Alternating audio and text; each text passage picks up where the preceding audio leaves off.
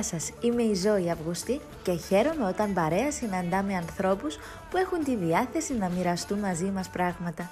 Μείνετε μαζί μας και σήμερα, γιατί συναντήσαμε τον Σίμο Τσάκα και μας μίλησε για την πορεία του, για το πώς έγινε η πρώτη επαφή με την τηλεόραση, την ομάδα αυτοβελτίωσης που έχει δημιουργήσει και φυσικά για την οικογένειά του.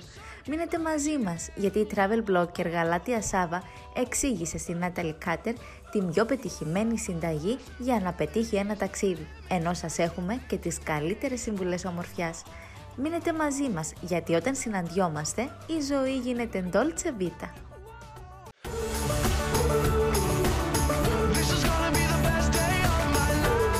Κυρίες και κύριοι, καλησπέρα. Καλώ ορίσατε στην παρέα μας. Είμαστε εδώ στον Dolce Vita και τον απόψινό μας καλεσμένο ήθελα, ήθελα πάρα πολύ να τον γνωρίσω από κοντά. Πρώτη φορά γνωριζόμαστε ε, και στην πορεία ψάχνοντας γι' αυτόν βρήκα και άλλους λόγους που θέλω να τον γνωρίσω και να μιλήσω μαζί του και θα τα μάθουμε όλα παρέα για τον Σίμο Τσάκα που είναι απόψε στην παρέα μας. Σίμω, μου σε ευχαριστώ πάρα πολύ που είσαι εδώ. Εγώ ευχαριστώ για την πρόσκληση. Ε, ξεκινήσαμε εμείς χωρίς τον κόσμο να μιλάμε έτσι λίγο και πραγματικά έχει μεγάλο ενδιαφέρον η συζήτηση μαζί σου, γιατί καταπιάστηκε και με καινούργια πράγματα. Βγήκε και η ταινία που όλοι περιμέναμε. Οπότε θα τα συζητήσουμε όλα. Ευχαριστώ. Ε, Βουράτε γειτόνι. Ταινία ε, πώς ήταν όταν σας ανακοινώθηκε ότι ξαφνικά ήταν κάτι που το συζητούσατε πριν ή ήρθε μια μέρα ο Γιώργος ο Τσάκας και σας είπε ότι κάνουμε ταινία. Κοίταξε, ήταν κάτι το οποίο ε, από ό,τι καταλάβες τόσα χρόνια. Δηλαδή ε, από το τέλος της σειράς το 2005 βασικά η σειρά δεν τελειώσε ποτέ. Δηλαδή mm. και με τις επαναλήψεις και το ενδιαφέρον του κόσμου ήταν εκεί. Δηλαδή τώρα γνωρίζουμε εμείς σήμερα παιδιά που που δεν ήταν καγέννημένα εκείνη την εποχή, για να ξέρουν άψογα τους ρόλους στι ατάκε. Ήταν μεγάλη ευθύνη. Δηλαδή, μεγαλώσαμε, δεν ξέρω πόσες γενιές ναι. με το, με το Βουράτε Γειτόνι. Οπότε ήταν πάντα όπου πηγαίνες, ό,τι, ό,τι ρόλους καλού και αν κάναμε, ό,τι σερσάλες και αν κάναμε, ήταν ε, θέλουμε να γελάσουμε, το θέλουμε ξαναπίσω. Οπότε παρασκηνιακά mm. κάποιες συζητήσεις είτε να το κάναμε θεατρικό, mm. είτε ναι, μια ταινία. Αλλά ξέρεις την Κύπρο να κάνεις ταινία δεν είναι το πιο εύκολο πράγμα. Mm. Ε, χρειάζονται πάρα πολλά λεφτά. Οπότε ήμασταν καλεσμένοι σε ένα επαιτειακό του Σίγμα, ένα εορταστικό, οι συντελεστές της σειράς. Και το συζητούσαμε εκεί live εκείνη την ώρα και λέει ο Γιώργος, εντάξει, αν συμφωνούν τα παιδιά και έχουν την υπομονή να το κάνουμε, ας το κάνουμε. Και δεσμεύτηκε εκείνη την ώρα. Ο Νέαρ.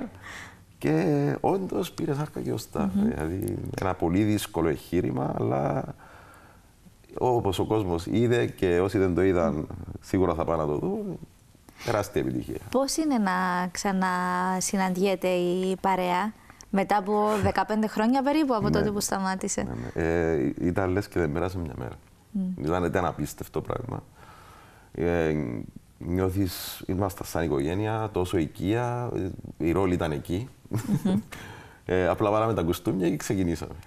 Πώς είναι να προσεγγίζεις τον ίδιο ρόλο μετά από 15 χρόνια, Ναι, ήταν κάτι το οποίο εγώ σκεφτόμουν γιατί εμένα το Βουράτε Γειτονί ήταν το ξεκίνημά μου, ήταν η πρώτη ναι. μου δουλειά. Δηλαδή ήμουν ακόμα ναι. σχολείο όταν ναι. ξεκίνησε το Βουράτε Γειτονί. Ε, οπότε δεν είχα την εμπειρία τότε. Mm. Μάθαινα κι εγώ ναι. δίπλα από αυτούς τους τεράστιους ηθοποιούς. Ήταν, ήταν, ήταν, η αρχή μου. Ε, τώρα, μετά από 15 χρόνια που είχα την εμπειρία.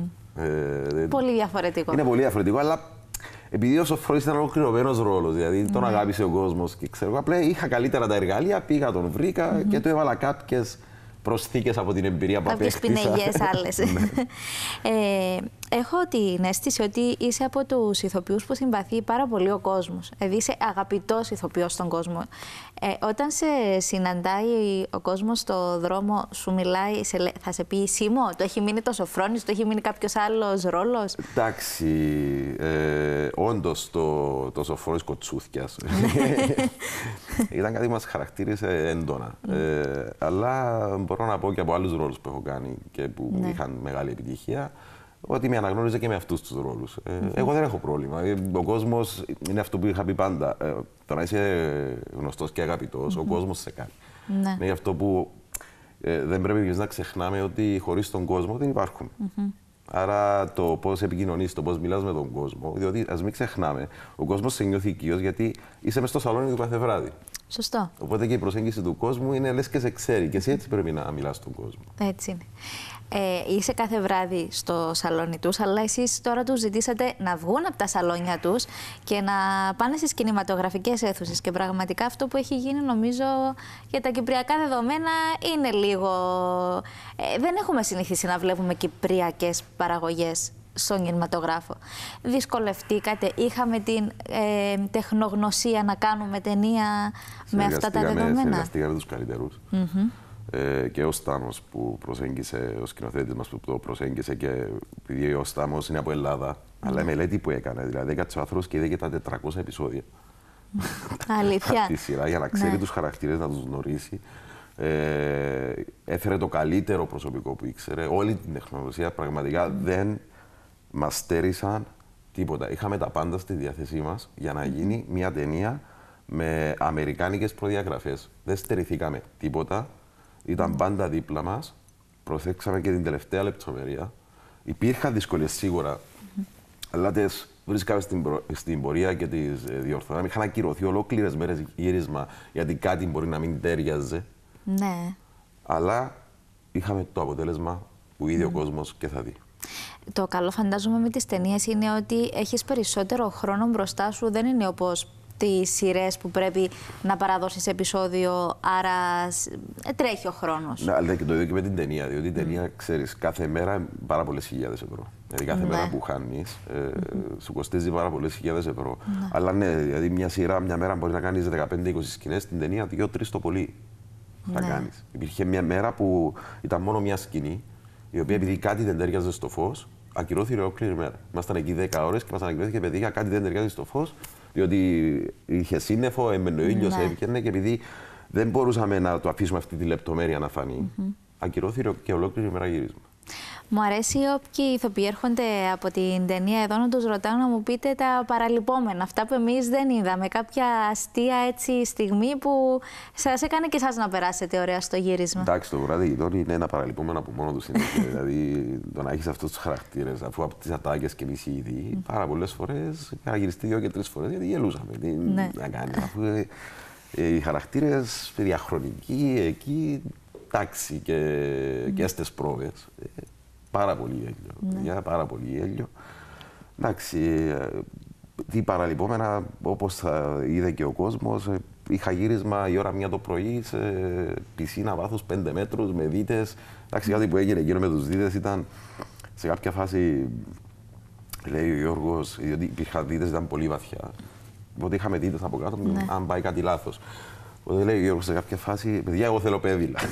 Πρέπει τώρα να επιπλέουμε και να περιμένουμε να γυρίσουμε. Ε, λέει ο Σοφοκλής, ε, και εγώ θέλω πέδιλα. Λέω και εγώ, αυτοί οι δύο θα έχω, δεν θα έχω εγώ. Οπότε πήραμε τα. Να μας είχαν μπει οι Αν κάτι πάει λάθος, ναι. ε, σηκώστε το χέρι και μείνετε εκεί και έρθουν να σας πάρουν. Μην κάνετε αυτό έτσι. Ναι. Το είχαμε στο γύρισμα και δεν θα καταλάβουμε. Ναι. Ε, σε κάποια φάση παίρνουμε τα πέδιλα εμείς από τους δίτες. Λέει ο ένας ο δίτη, παιδιά, τι θα γίνει τώρα, δεν έχουμε πέδιλα εμεί. Ναι, είχατε ζήσει. Είχαμε εμείς και λέμε, παιδιά, αν πάθετε κάτι και αν δεν έτσι θα το μα πάρουμε. Εντάξει, υπήρχαν πολλά. Ναι, ναι, ναι. Πλάκες ωραίες που είναι αυτά που μένουν και σε εσάς τους ηθοποιού, φαντάζομαι. Ναι, ναι, σίγουρα. Πώς ξεκίνησες ένα η αγάπη σου, σε ποια ηλικία ξεκίνησες να λες ότι εγώ θέλω να γίνω ηθοποιός. Δεν έλεγα. Δεν έλεγα. Επειδή φοβόσουν να, να το πει, γιατί δεν το είχες αντιληφθεί. Εντάξει, τώρα κάνω και τα σεμινάρια προσωπική Ναι, και γι' αυτό είπα στον κόσμο ότι θα τα πούμε Κοιτάξτε, όλα. Αυτό που είχα αποφασίσει εγώ στη ζωή μου ήταν ότι δεν ήθελα να συμβιβαστώ.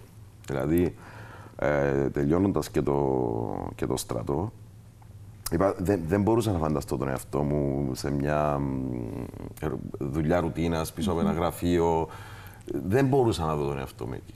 Ναι. Οπότε στι συζητήσεις που είχα με τους γονείς μου, τι θα κάνεις και θα δω, δεν ξέρω. Οπότε σε κάποια φάση έσπασα μέσα μου και τους λέω: Δεν ξέρω τι θα κάνω στη ζωή μου. Εγώ ξέρω ότι θα είμαι διάσημος. Αυτό είπα. Δεν είπα θα είμαι ηθοποιός. Ναι. Αλλά το δήλωσα, το πίστευα ότι ε, θα κάνω κάτι διαφορετικό στη ζωή μου. Ε, και στην πορεία με είχε πάρει τηλέφωνο ο Γιώργος, με ενημέρωσε για την δραματική. Ότι ναι. Εκείνο το καιρό θυμάμαι δεν είχαν άντρες. Είχε περάσει μόνο ένας άντρας το έτος που ήμουν εγώ. Ναι. Και αν θα με ενδιαφέρει να πάω να δώσω εξετάσεις.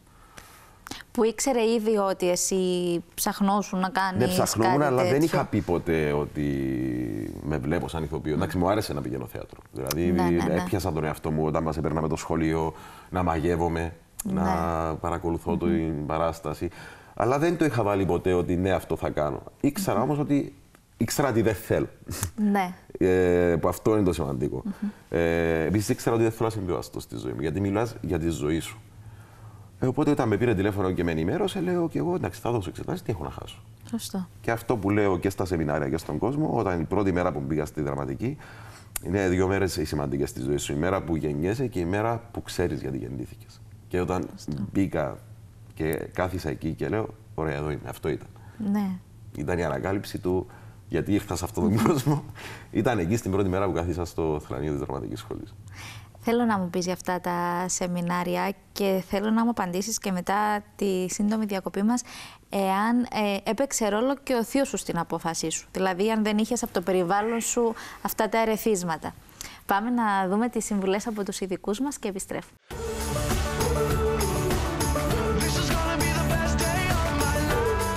Καλησπέρα σας. Είμαστε εδώ με τη travel blogger Γαλάτια Σάβα και ιδρυτή της ιστοσελίδας tia-travel.com.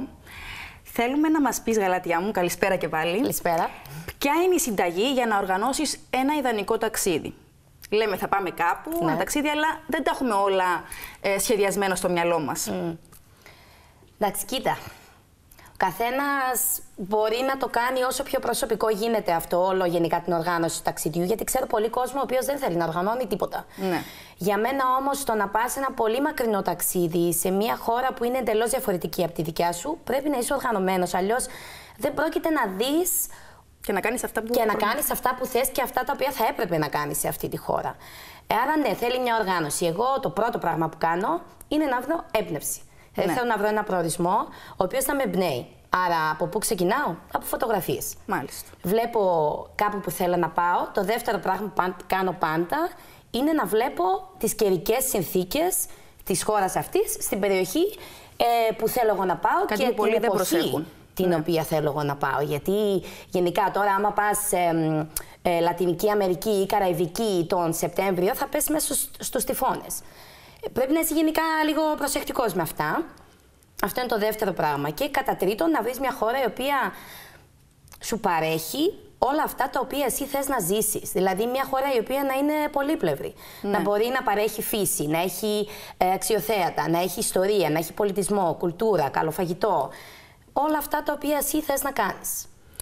Ε, τι πρέπει να προσέχει ένας ταξιδιώτης σήμερα, γιατί ακούμε και διάφορα που γίνονται σε όλο τον κόσμο, με τρομοκρατίες, ε, τι πρέπει να προσέχει κάποιος; Κοίταξε, προσωπικά δεν έχω ε, ακυρώσει ταξίδι ποτέ σε καμία χώρα ε, πιστεύοντας μόνο τα social media γιατί πολλά από αυτά γίνονται μέσω προπαγάνδας ε, απέναντι στη συγκεκριμένη χώρα και είναι λίγο παραφουσκωμένα.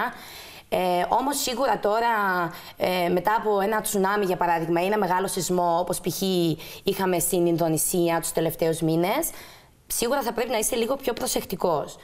Για μένα το πιο σημαντικό πράγμα που πρέπει να προσέχει ένας ταξιδιώτης δεν είναι όλα αυτά περί φυσικές καταστροφές, τρομοκρατισμούς και τέτοια.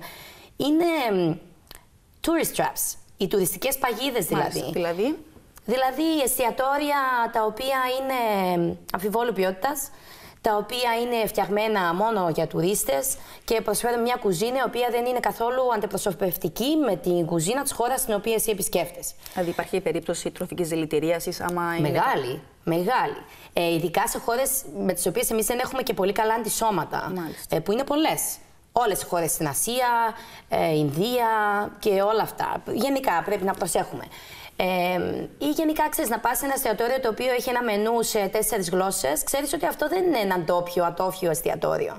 Ότι θα φας κάτι το οποίο είναι, you know, μιας πιο χαμηλής ποιότητας, να το πούμε έτσι. Και γενικά ε, παγίδες ε, για τους τουρίστες, σε καταστήματα, μαγαζιά, τα οποία είναι πολύ σύχναστα για τουρίστες ε, και σε πολλά αξιοθέατα πους πουλάνε κάρτες ε, για μουσεία και τελικά είναι μούφα ή τέτοια πράγματα. Αυτά για μένα είναι πιο επικίνδυνα από το να πας σε μια χώρα και να υπάρχει ένας πολύ μικρός κίνδυνος τρομοκρατικής επίθεσης. Οπότε πρέπει να γίνεται καλή μελέτη.